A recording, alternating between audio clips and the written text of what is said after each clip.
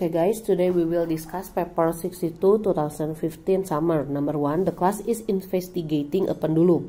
Figure 1.1 and 1.2 show the pendulum. You can see the figure ya. A student adjusts the pendulum until its length 50 cm. State one precaution that you will take to measure the length L as accurately as possible. You may draw a diagram. Nah, uh, di sini kita lihat L-nya itu kamu harus ukur dari panjang string sampai uh, in the middle of the bob. Jadi precautionnya yang pertama itu kemungkinannya adalah bahwa kalau kamu ngukur rulernya ini harus as close as possible ya ini ruler. Lalu jangan lupa kalau kamu melihat ini untuk menghindari paragraf matanya harus perpendicular viewing. Nah, atau kita bisa bilang di sini kalau kita gambar diagram berarti uh, state one precaution that you will take to measure the length L itu adalah measure the string.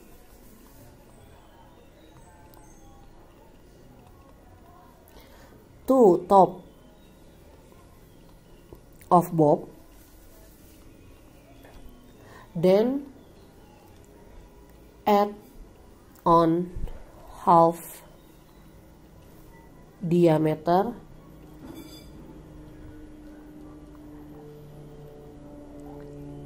uh, half add on half diameter of bob Nah, tapi kamu harus jelasin gimana caranya uh, ngukur diameter bob. Nah, diameter bobnya itu diukurnya kita udah pernah ya. Yang pertama kamu bisa using calipers Yang kedua itu using two block. Ini kita pernah lakuin ini jadi block one. Ini block two. You put you put the bob the bob in the middle. Terus kita ukur pakai penggaris. Ini ruler.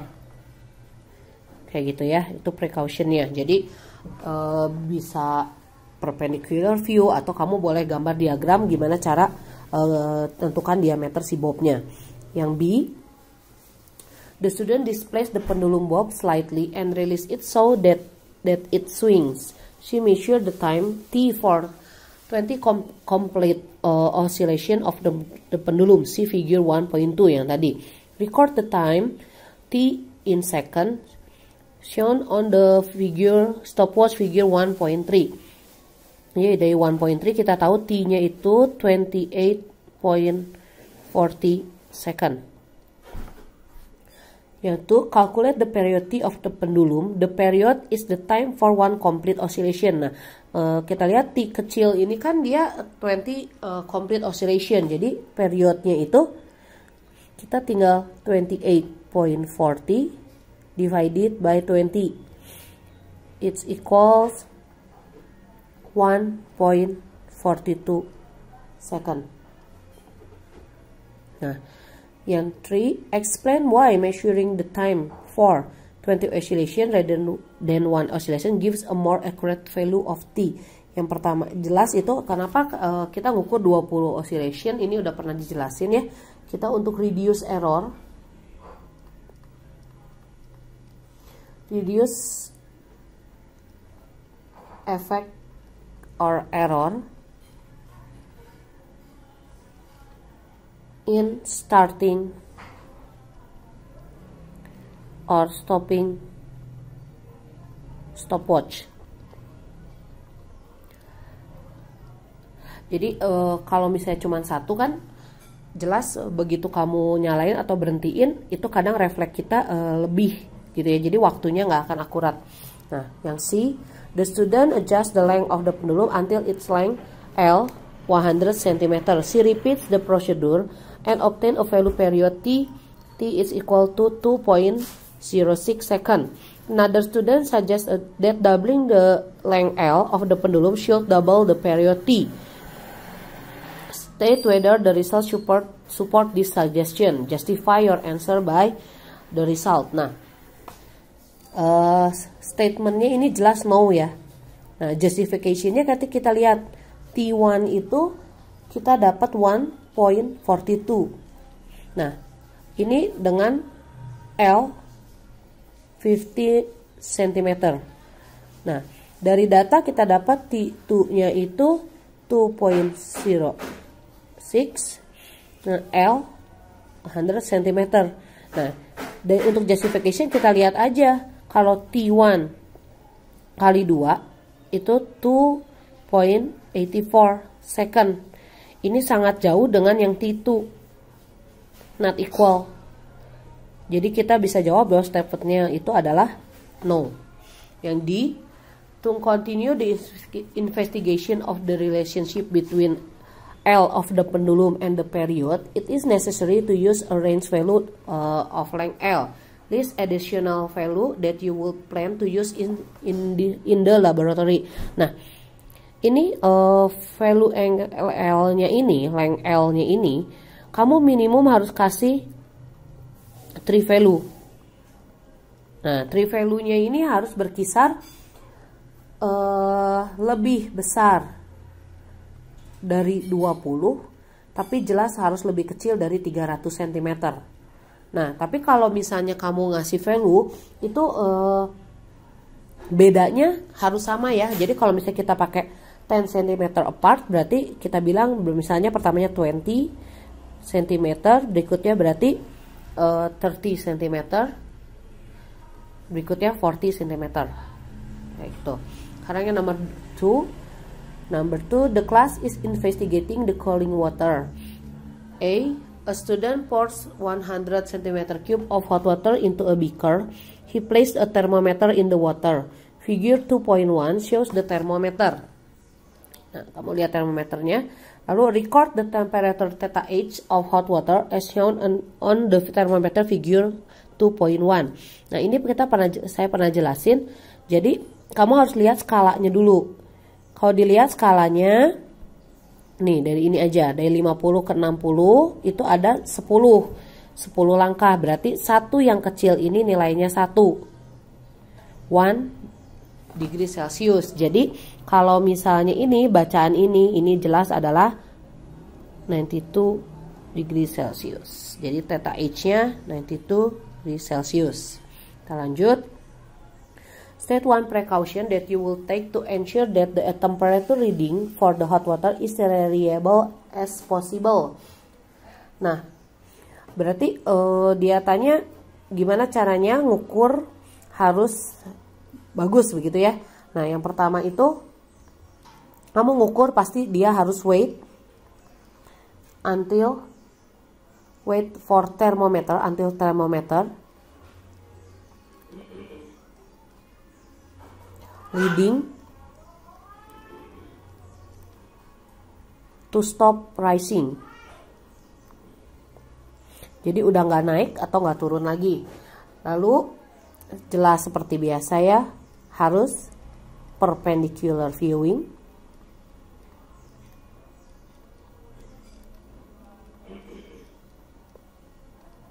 Lalu jangan lupa yang paling penting adalah bahwa bulb dari bulb the thermometer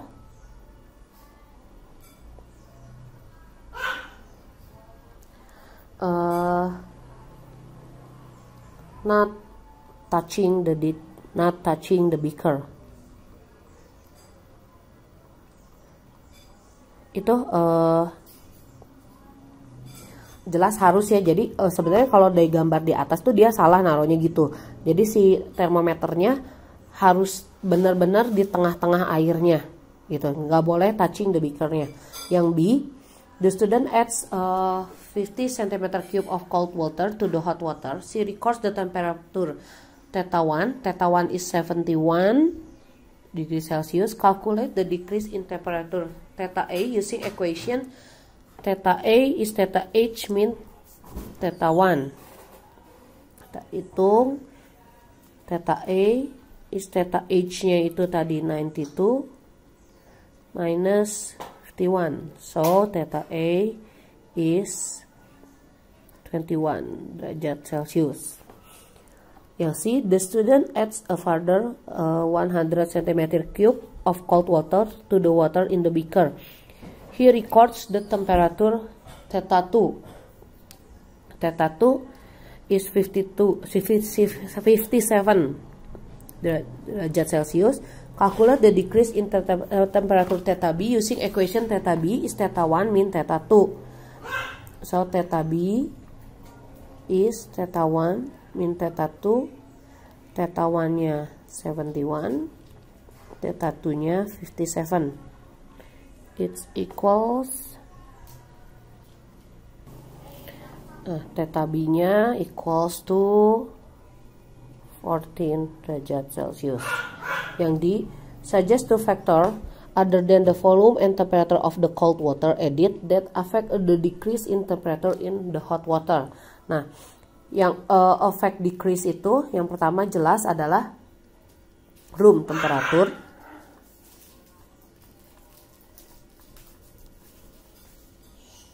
yang kedua itu adalah initial hot water temperature.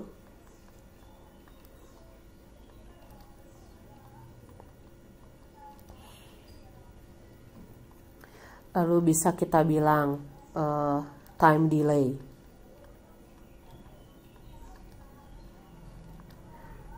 In adding water.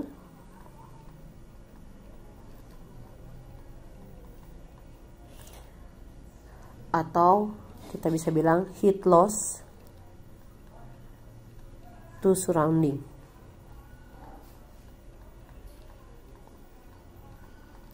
yang I Describe briefly how a measuring cylinder is read to obtain an accurate value for the volume of water. You may draw a diagram. Nah, measuring cylinder ini pernah kita bahas. Jadi kalau satu cairan kita pakai measuring cylinder, yang jelas parallax error, mata kamu harus perpendicular viewing. Kayak gitu. Lalu e, tidak semua cairan itu kan lurus ya kalau masuk ke silinder.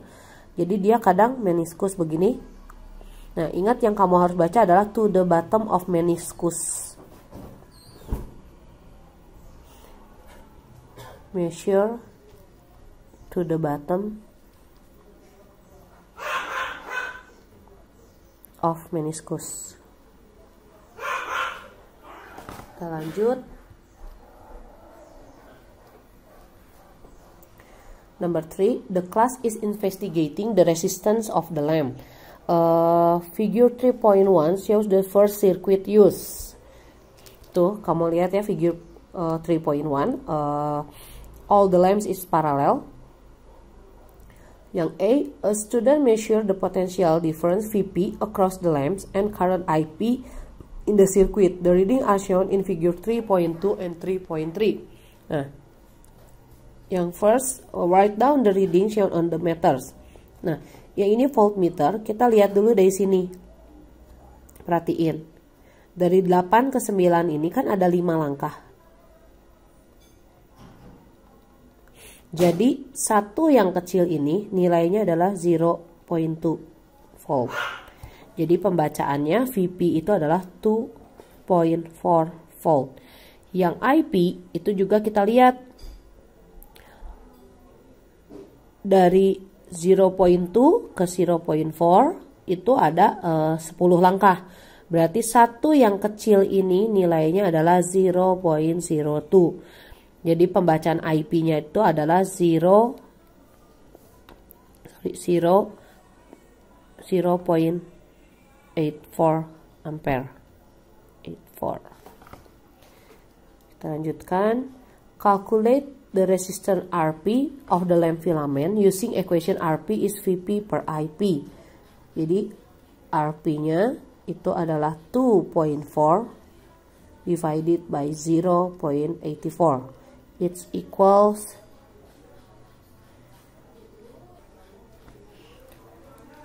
it equals 2.8570 1, 4, 2, and so on. Nah, kamu harus ingat ya bahwa dalam uh, praktikum percobaan, kamu harus laporkan tidak lebih dari 4 significant figure.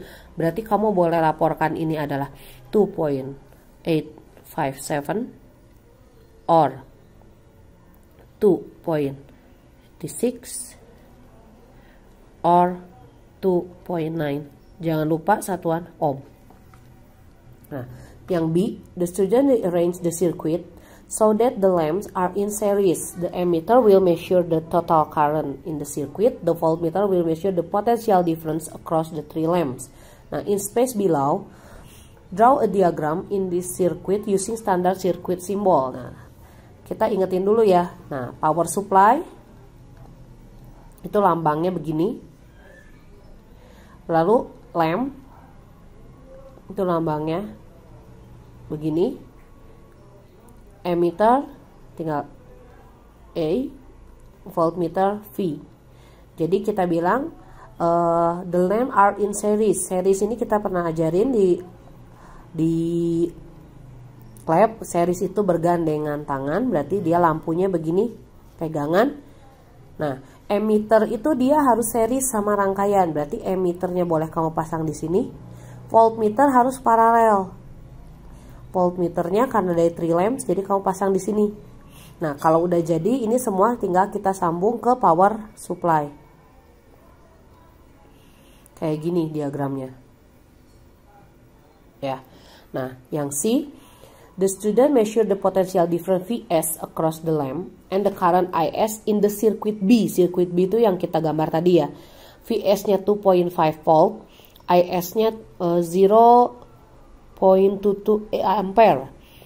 Resistance-nya RRS itu berarti 2.5 divided 0.22 it's equals to nah ini kalau misalnya kita hitung tadi dapat hasilnya adalah 11. 36, 36 and so on. Jadi uh, eh, RS-nya ini ingat uh, kalau untuk ini dia minta dia tidak boleh lebih dari 3 significant figure. Berarti kamu boleh jawab kalau 2 significant figure itu 11 ohm or 11.4 ohm. Yang di yang first, a student wishes to vary uh, the current in the first circuit shown in figure 3.1 using a variable resistor in the space below. Draw the standard circuit symbol for variable resistor. Variable resistor ini juga kita udah pernah, gampang. Caranya gambarnya sirkuit simbolnya adalah kotak, terus kamu kasih tanda panah. Nah, yang point 2 on figure 3.1 label with X a suitable position in the first circuit for variable resistor used to vary the current in all the lamps. Nah, kita balik lagi ke gambar yang atas. Nah, uh, variabel resistor itu boleh kamu taruh di sini. Jadi X-nya boleh di sini atau boleh di sini. Pilih salah satu aja, ya.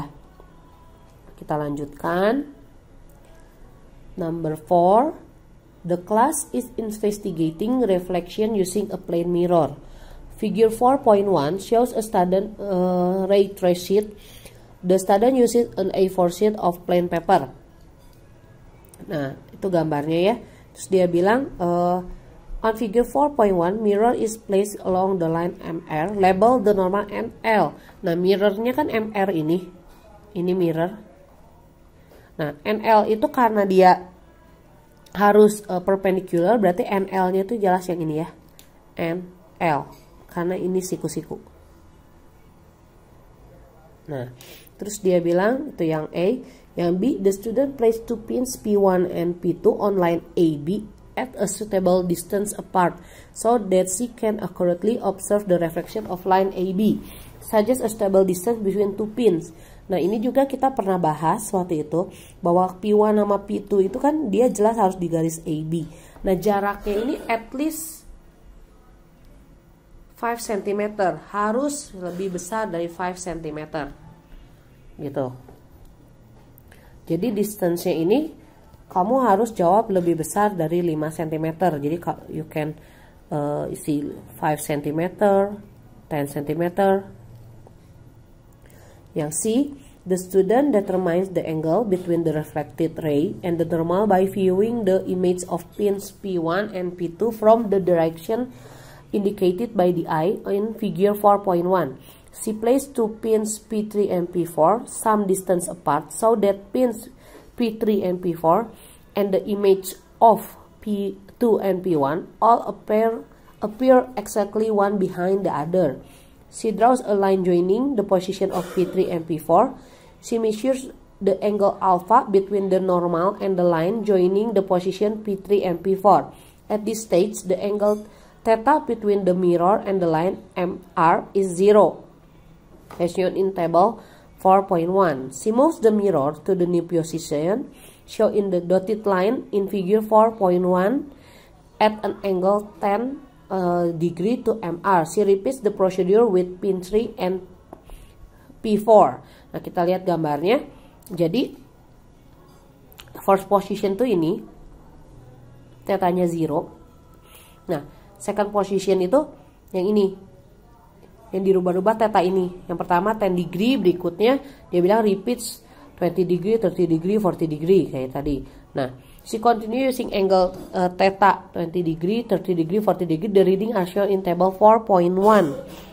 Itu kelihatan 4.1 datanya. Nah, berikutnya yang uh, kita harus suruh plot a graph alpha in y-axis and theta in x-axis. Jadi jangan lupa ini kita bilang dulu ini adalah theta degree. Ini adalah alpha degree. Nah, karena tetanya itu teta itu gampang kita lihat datanya itu adalah 0, 10, 20, uh, 30, 40 berarti kita tinggal tulis sini 0, 10, 20, 30, 40 uh, terus uh, y-nya kalau kita lihat y itu nilai paling rendahnya itu 32 nilai paling tingginya adalah 108 Berarti uh, saya putuskan di sini saya mau pakai skala untuk y axisnya 20 40 60 80 and 100. Nah, biar gampang ya. Nah, terus kita uh, tinggal uh, masukin datanya. Sekarang kalau 0 itu 32. Nah, kita perhatiin kalau yang x axis ini uh, untuk 10 kotak kecil itu kan nilainya 10 berarti satu kotak kecil ini nilainya 1 tapi kalau untuk yang y axis 10 kotak kecil ini nilainya 20 berarti satu kotak kecil ini nilainya adalah 2 jadi untuk position yang uh, pertama uh, tetanya 0 alfanya 32 itu kita bilang ini 20 22 20 4, 6, 8, 30. Nah, ini 32. Posisi awal. Sekarang kita lihat lagi untuk 10 itu 50. Berarti waktu 10 ini 10, 50 di sini.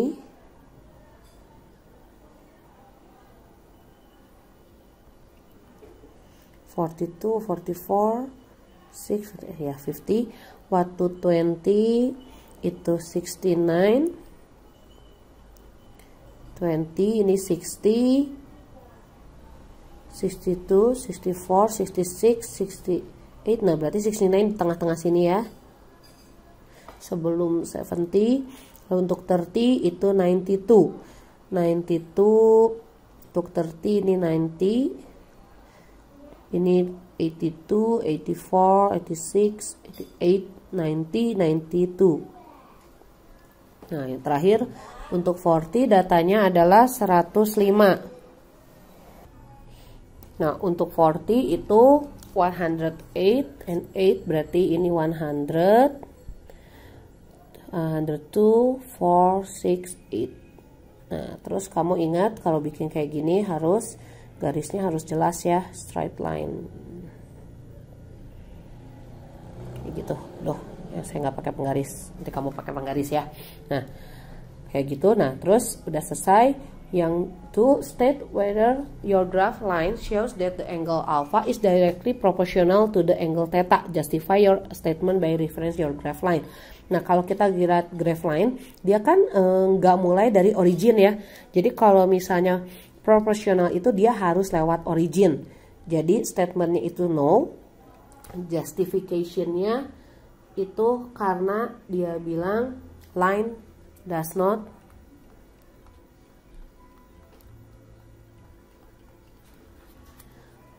line does not pass through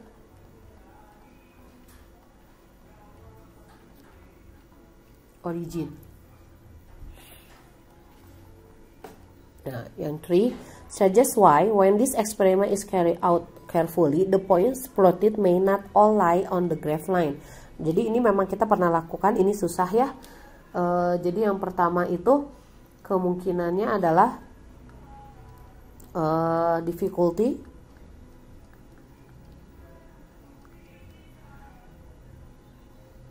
in aligning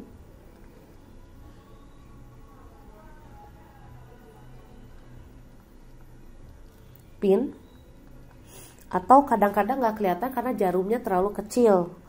Jadi pin. Tutik atau bisa juga cerminnya terlalu tipis.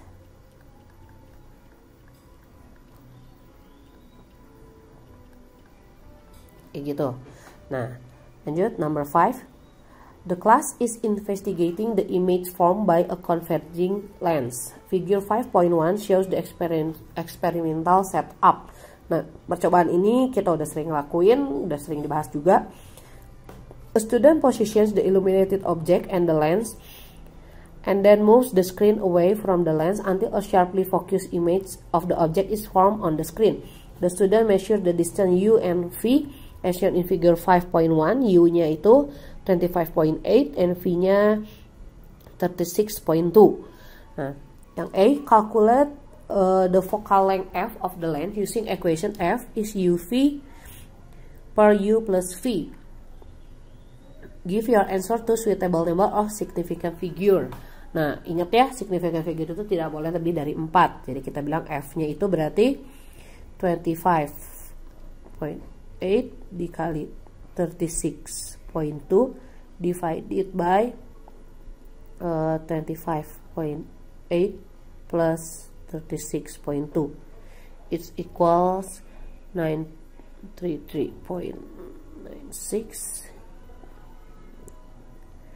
uh, equals so it's equals 15 point zero six three eight seven and so on Nah, kita bulatkan dari jadi four significant figure berarti fokusnya adalah 15.06 cm. Nah, yang B, state to to precaution you will take in the laboratory in order to obtain obtain the variable measurement when doing this experiment. Ini juga udah kita sering bahas. Jadi, yang jelas itu kita ulangi waktu itu kemarin adalah ruangannya harus gelap. Lalu lampunya harus terang.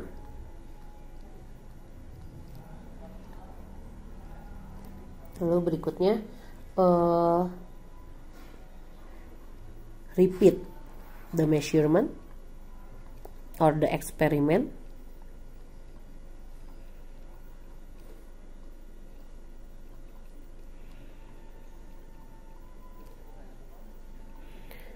Terus yang penting lagi adalah uh, kamu harus moving the screen slowly.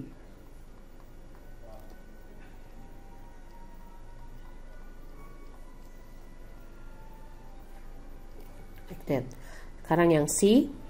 The object in figure 5.1 is an illuminated triangle as shown in figure 5.2. Suggest the difference between the uh, appearance of the illuminated object and the well-focused image on the screen. Nah, perbedaannya apa antara illuminated object and well-focused image? Itu yang jelas pertama uh, itu uh, positionnya ya, dia biasanya upside, upside down. Karena kalau di screen itu dia kan uh, jelas bayangan nyata. Jadi kalau bayangan nyata dia pasti terbalik upside down. Lalu size-nya bisa bigger or smaller lalu berikutnya brightnessnya jelas beda dan yang terakhir itu adalah colors seen round edge gitu ya itu uh, two difference between uh, uh, appearance-nya. Wah, ternyata udah selesai. Nah, udah selesai segini. Semoga uh, pembahasan ini berguna untuk kalian ya. Terima kasih.